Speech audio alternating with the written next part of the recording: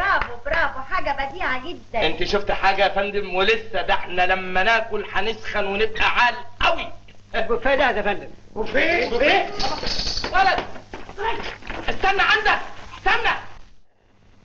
استنى هنا! إيه ده؟ أنتوا مسروعين ليه؟ ها؟ فين الأدب؟ فين الذوق؟ فين الاحساس فين الأخلاق؟ فين البوفيه؟ أهو. أهو. استنى. هنا آه دي الحاجة اللي تزعل يا ست هاني. اتفضلوا يا سيدي يا بختكم أنتم الآكلون ونحن الجائعون. أصلي عايزة أكلمك على انفراد. وعلى بال ما حضرتك تكلمينا على انفراد هيكونوا أفراد الفرقة استفردوا بالبوفيه وشطبوا عليه. ما تخافش الأكل كتير. والنبي حس كده يا فندم تكلمينا على انفراد على انشراح أنا تحت أمرك. اتفضل. اتفضل. اتفضل. اتفضل. الحقيقة أنا معجبة بفنك وأخلاقك. أنت إنسان لطيف وفنان ممتاز. ست الله يحفظك بس تسمحي لي أحصل إخواني والنبي؟ استنى شوية آه. أنا أول ما شفتك اكتشفت فيك مزايا مدهشة. وشك كله براءة. ضحكتك بتعبر عن قلبك الطيب. وكلامك باين فيه الإخلاص. بقي يا ست هانم بقي. ماله بق باين عليه الجوع. طول بالك.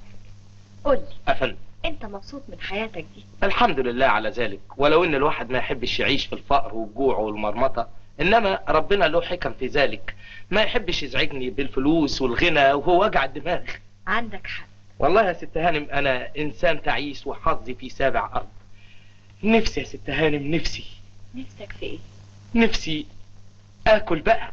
ما تستعجلش. كلمني عن نفسك عن أحوالك. هقول لك إيه؟ عن أحوالي. بعد اللي شفتيه بعينيكي مالكش أمل عايز تحققه. مالكش أمنية عايز تتمناها. قولي ما تخبيش عليا حاجة. في الحقيقة يا ست هانم أنا نفسي أشتغل في السينما. نفسي أعمل أفلام كتير. لكن الناس ما بترضاش تحن عليا علشان أنا راجل فقير. نفسي أبقى نجم مشهور والناس تشاور عليا ويقولوا غزال لعور زي فريد الأطرش. أنا هرسم لك المستقبل السعيد.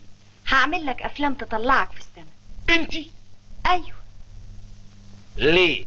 حضرتك مترو جولدن هانم؟ يا عبيط أنت مش عارف إن ورا كل عظيم امرأة بتدفعه للمجد. أنا سمعت حاجة زي كده هنا. أهو أنت محتاج لامرأة تدفعك للمجد والشهرة والعظمة. وهي فين المرأة دي يا ست هانم؟ أنا. إزاي بقى؟ أنا هكلمك بصراحة. أنا كنت فقيرة زيك. اتجوزت راجل غني كان أكبر مني في السن وكنت سعيدة جدا في جوازي. مات من خمس سنين وورثت عنه ثروة كبيرة قوي الله يرحمه. وبعد ما مات حسيت إني أنا تعيسة وحيدة في الدنيا. فكرت إني أتجوز راجل أمين أحط كل ثروتي بين إيديه وأنا مطمئنة. وده حاجة عقدة يا ست هانم. البلد مليانة ناس محترمين كتير بس اللي يدور يلاقي. ما أنا دورت ولقيت خلاص. ألف مبروك. ومين بقى سعيد الحظ اللي مرشح للوظيفة دي؟ آه لا مؤاخذة أقصد الجوازة دي. أنت. أيوة فعلا هو راجل طيب وابن حلال لكن مين مين مين مين مين مين مين؟ أنت. أنا. أيوه أنت. بقى أنا هبقى حرم حضرتك آه جوز حضرتك؟ أيوه. وحضرتك تبقي جوز حض... آه حرم حضرتنا؟ أيوه. لا دي جامدة قوي يا ست هانم. هو معقول الناس الأكابر يتجوزوا الناس الأصاغر؟ ليه؟ إحنا قد المقام؟ مقام إيه وكلام فارغ إيه آه، مقام حضرتك. لا مؤاخذة لو مقاس رجل حضرتك 36 وجابوا لي الجزمة مقاس 45 مش رجلك تلقي فيها برضو؟ طبعا. أنا هعمل لك كله في حياتك. دوري على راجل من مركزك من مقامك. أنا قابلت رجالة كتير في حياتي. كلهم كانوا عايزين يتجوزوني طمعانين في ثروتي. لكن أنت أول مرة أصادف إنسان نضيف وقلبه أبيض. هو في الحقيقة أبيض ونضيف من كله يا ست هانم نضيف أدبيا وماديا. عشان كده قلبي اتفتح يا دهية السود يا ست هانم قولي كلام غير ده أنا فين وأنت فين؟ في قلبي. يا خراشي يا ست هانم عيب أحسن تزعلي أهلك. أنا ماليش أهل ليا تلات إخوات رجالة. بيستنوا موتي بفارغ الصبر عشان يورثوا ثروتي. نفسي أتجوز وأخلف ولد يورث الثروة دي ويخيب امله ها إيه رأيك؟ أنا رأيي برضه يا ست هانم ما تغضبيش أهلك. ما هو انت هتبقى أهل يا هانم أنا لا أنا أهلي ولا زمالك. أنا ما أعرفش في اللعبة دي خالص. أما أمرك عجيب قوي آه. حد يرفض النعيم. آه. السعادة. أيوه. العز. ما حدش يرفض الحاجات دي يا ست هانم بس أنا شكلي وحش قوي يا ست هانم. أهي وحشتك دي هي المؤهلات اللي عندك. يفضل قلبي مرتاح إنه مفيش واحدة غيري هتبص لك ها. إيه رأيك بقى يا بيبي؟ والله يا ست هانم أنا زي اللي غرقان في وسط بحر. استنى عليا بس لما أرسي على بر وبعدين أقول لك أي. إيه يا فندم؟ ناموسة قرصت من ناموسة؟ أهرش لي لا بعد الشر ده الناموس ده قلبه قاسي قوي بعد الشر عليك يا هانم إيه ده؟ لا لا لا لا يا هانم لا لا لا.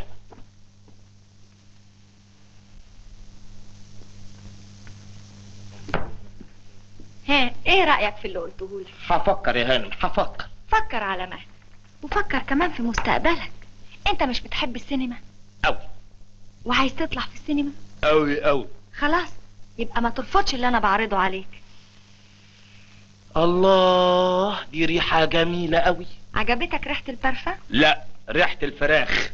أنت جعان قوي قوي قوي مش هتعشوني بقى؟ اتفضل. طيب أنا متشكر. أخيرا تعشيت.